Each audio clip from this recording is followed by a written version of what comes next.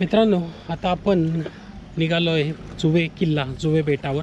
इथून पलीकडे जाण्यासाठी आमची जी गाडी आहे फोर व्हीलर ती पूर्ण या लॉन्चमधनं आपण पलीकडे जाणार आहोत.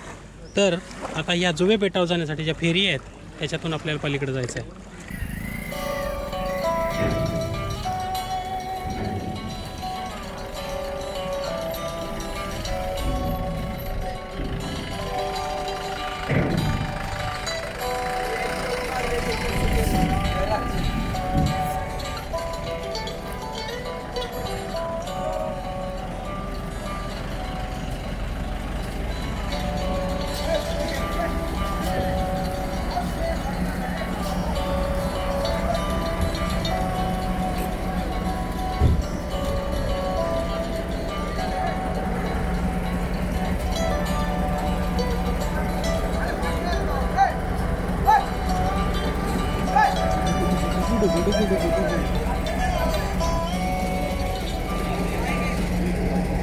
खूप मोठ्या आकाराची मांडवी नदी आणि सारमानस गावाकडून टोंका या गावाकडे जाणारी सारमानस फेरी तिथूनच आपण जोवे या बेटावर पोहोचतो. मित्रांनो आपण फेरीमधून जोवे बेटा उतरलो आणि आता इथंपर्यंत आपल्याला गाडी रस्ता होता. पल पलीकडे आल्यानंतर इथून वरती जायची वाट ही छोटीशी निमुळती वाट आहे. आणि छोटी असल्यामुळं गाडीवरती जात नाही चालत जावं लागतं. उंच टेकडीवर जोवे किल्ला आहे त्याच्याकडे आपण जाऊया आता. दक्षिण कोकण आणि गोव्यामध्ये समुद्राजवळच्या बेटांना जुवे असं संबोधलं जातं. अशा प्रकारची अशाच नावाचे बेटं तुम्हाला सिंधुदुर्ग जिल्ह्यातही पाहायला मिळतील. या बेटावरचा किल्ला म्हणून याला जुवे किल्ला असं संबोधतात. आदिलशाहीने सर्वप्रथम मांडवीधन नदीवरून होणाऱ्या व्यापारावर लक्ष ठेवण्यासाठी या किल्ल्याची निर्मिती केली. परंतु पुढे सोळाशे अडुसष्टमध्ये पोर्तुगीज आणि आदिलशाह यांच्यात जे युद्ध झालं त्या युद्धात पोर्तुगीजांनी हा किल्ला जिंकून घेतला आणि याचं नाव ठेवलं सेंट फ्रान्सिस झेवियरचा किल्ला. हा किल्ला एका उंच टेकडीवर असल्यामुळं या भागातून नॉर्वे दिवार आणि डिचोली ज्याला बिचोली माता म्हणतात या भागावर लक्ष ठेवता येतं. आपण वरती गेल्यानंतर आपण पाहूच इथून दिसणारा परिसर. अगदी एखाद्या छोट्याशा गडीसारखा असणारा हा किल्ला याचा मूळचा जो भाग आहे तो उंच बांधण्यात आलेला आणि त्याच्यावरती वरती चढून जाण्यासाठीच्या पायऱ्या अशा प्रकारची रचना या किल्ल्यावर भासते. तुम्हाला समोर दिसतंय अगदी छोटेखानी असलेला परंतु आजही व्यवस्थित तटबंदी असलेला एक सुंदर किल्ला इथून दिसणारं निसर्गरम्य वातावरण अशा सर्व गोष्टी एकाच ठिकाणी तुम्हाला पाहायला मिळतात. आजही व्यवस्थित असणारी एक वास्तू या गडावर आहे. हा एक छोटेखानी किल्ला आहे जुवे किल्ला. अगदी मोजमाप आणि टेकडीवर उंचावर असलेला पण ऐतिहासिकदृष्ट्या याचं फार महत्त्व आहे. मित्रांनो प्रथम आपण गडाच्या प्रवेशद्वारातून आतमध्ये न जाता याचा तट आणि याच्या भोवतीनी प्रदक्षिणा पूर्ण करू आणि त्याच्यानंतरच गडामध्ये प्रवेश करू. तुम्हाला आजही व्यवस्थित दिसणारा तट दिसतोय डाव्या बाजूला उंच आकाराचा. पोर्तुगीजांनी या बेटावर सेंत इस्तेवान हा चर्च बांधला. त्यामुळं या बेटाला सेंत इस्तेवान या नावाने ओळखलं जातं. परंतु जे जुनं नाव आहे ते आहे जुवे बेट. त्यावरूनच या किल्ल्याचं नाव जुवे किल्ला असे ओळखलं जातं. हा गडाच्या पाठीमागच्या बाजूचा तट आहे आणि इथून पुढे गेल्यानंतर तुम्हाला सर्वत्र दिसणारं घनदाट जंगल नजरेस पडतं. आणि इथं असलेल्या निसर्गाची एक वेगळीच अनुभूती पाहायला मिळते. मित्रांनो याची उंची लक्षात येईल बघा. समोरच्या बाजूला पूर्ण घनदाट जंगल. इथं चर्चाही आहे. कारण पुढं पोर्तुगीज जिंकून घेतल्यानंतर याचं नाव संत इस्तेवान आहे. तटबंदी पूर्णतः अगदी व्यवस्थित दिसते. चला आतमध्ये कुठून जायचा मार्ग आहे तो बघूया. गोव्यातल्या किल्ल्यांच्या सफरीमध्ये खरं तर वेगवेगळ्या प्रकारचे वेगवेगळ्या धाटणीचे किल्ले आपण पाहिले. नदी जिथं सुरू होते त्या ठिकाणी असणारे किल्ले. त्यानंतर ती जिथं समुद्राला मिळते त्या खाडीवर असणारे किल्ले. परंतु हा एक वेगळ्याच प्रकाराचा वेगळ्याच बांधणीचा किल्ला आहे. मूळतः हा उंचावर टेकडीवर असल्यामुळं सह्याद्रीतल्या किल्ल्यांची एक अनुभूती येते. तुम्हाला समोरच्या बाजूला जे बांधकाम दिसतंय तिथून पायऱ्या गडाच्या मुख्य प्रवेशद्वारात जातात. एक वेगळ्या प्रकारची रचना आहे. हा पूर्ण उंच भाग आहे आणि इथं जाण्यासाठी एक रॅम्प आहे. त्याच्यावरून कदाचित तोफा वगैरे या सर्व गोष्टी खालून वरती नेण्यात येत असाव्यात आणि या बांधकामाच्या वरती तोफा ठेवून दरवाजाच्या समोरच्या बाजूला संरक्षण दिलं जात असावं. हा तुम्हाला रॅम्प दिसतोय आणि गडाचं सुरुवातीला असणारं बांधकाम.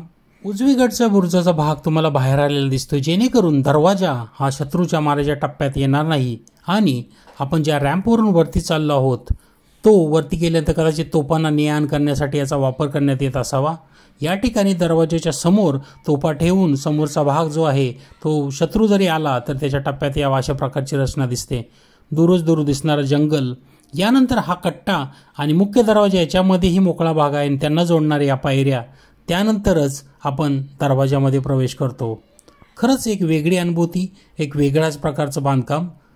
आतमध्ये गेल्यानंतर अगदी छोटेखानी भाग आहे. तोपांच्या जंग्या तुम्हाला पाहायला मिळतील. आणि मध्यात असणारं एक बांधकाम तेही आपण बघू. परंतु याची रचना आणि इथून दिसणारा परिसर याच्यापेक्षा याचा इतिहास खरंच अद्भुत आहे. छोटेखानी किल्ल्यावर आल्यानंतर तुम्हाला समोर दिसणारं जंगल त्यानंतर उजव्या बाजूला सेंट एस्तेवाम चर्च जो नंतर बांधण्यात आला. आणि पाठीमागं दूरवर दिसणारी ही मांडवी नदी आणि इथूनही पुढे गेल्यानंतर तुम्हाला याही बाजूला मांडवी नदीचं भव्य असं पात्र पाहायला मिळतं. वर्ष होतं सोळाशे त्र्याऐंशी. छत्रपती शंभूराजे गोव्याच्या स्वारीवर होते. त्यांनी पाच हजार सैन्यासह असं म्हणतात प्रथम फोंडा घेतला. परंतु काही लोकांच्या मते या किल्ल्यावर शंभूराजेने प्रथम आक्रमण केलं.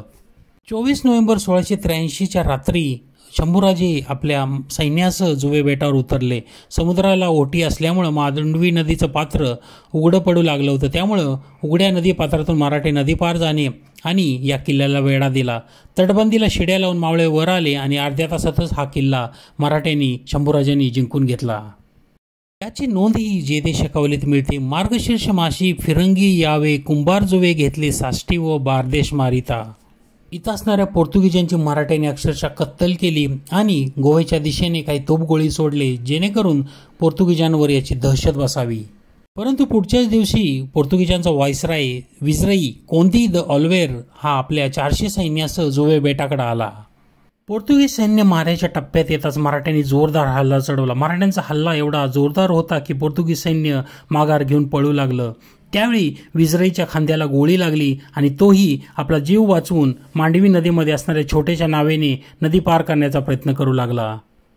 हे बघताच शंभूराजे त्याच्या मागावर निघाले आपला घोडा या मांडवी नदीच्या खाडीत फेकला परंतु त्यावेळी भरती असल्यामुळं त्यांचा घोडा उतरणीला लागला आणि खंडोबा लाळेने प्रसंगवदान राखून महाराजांचा घोडा अडवला आणि महाराज खाडीच्या बाहेर आले.